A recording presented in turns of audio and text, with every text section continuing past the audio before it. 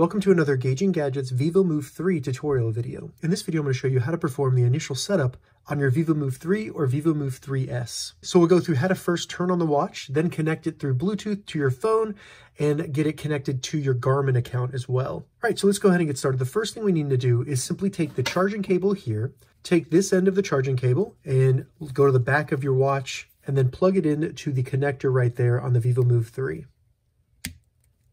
It should snap in where it kind of stays in firmly where you can't pull it out easily. Once you plugged in your vivomove 3, go ahead and plug the other end into a wall charger or power bank, something like that that gives power so that it will turn on the watch.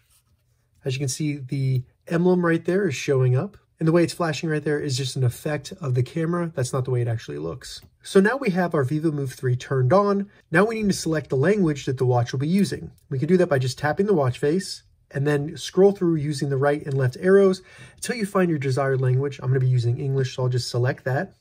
And now that we're at the Pair Now screen, we need to go to our phone before we actually put the watch in pairing mode. With your phone, go to your respective app store, so either the iTunes App Store or the Google Play Store, and install the Garmin Connect app. Check the description. I'll have links down there so you can just click that, go directly to it.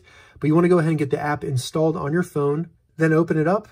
And if you don't already have a Garmin account, get one created but I'm going to go ahead and go and sign in. Now let's go back to our vivomove 3. Go ahead and select Pair Now.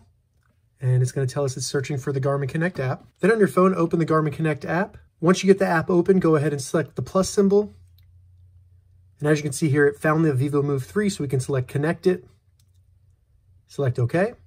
When it comes up with this asking for a code, go to your vivomove 3 and you should see a six-digit code. We just need to enter that in and then select OK and then it will pair it with your phone and start syncing all the information that it needs. So if you have multiple Garmin watches, you can make the vivomove 3 your preferred watch, your main watch, by selecting yes here. If you don't have a second watch, then it really doesn't matter. After it performs that initial sync, you'll see the check mark, and that means you are done setting it up. So you can start using it now if you want to. I do recommend going through the steps in the Garmin app just to set up your account with an avatar, things like that setting up your BMI and putting in some information about your body type, things like that, and your activity level. When it asks you about the typical sleep time, I recommend trying to put some accurate information here because it not only helps the watch track your sleep, but the watch will actually turn off any notifications and vibrations during that time if you just select no right here.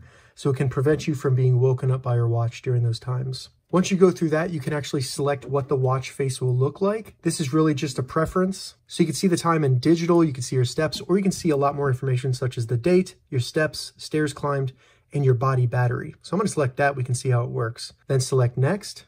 Now for setting some goals, I like to have Garmin set the goals automatically based on my activity level. So I'm gonna skip this. Then once you get through all the different items in the app, you'll be asked to perform a sync. So go ahead and select that. And as you can see, we are now set up in the app. And if you see this, that means that it's going to take you through a tour of how to use it. You can start that by just hitting the check mark right there with your finger. All right, so that's how you perform the initial setup on your vivomove 3. If you have any questions about this, leave a comment below. I'll get back to you as soon as I can. If you'd like to see more vivomove 3 or vivomove 3S tutorial videos, check the links in the description. If this video helped you, give it a thumbs up, and please consider subscribing to my channel, Gauging Gadgets, for more gadget reviews and tech tutorials. Thank you so much for watching.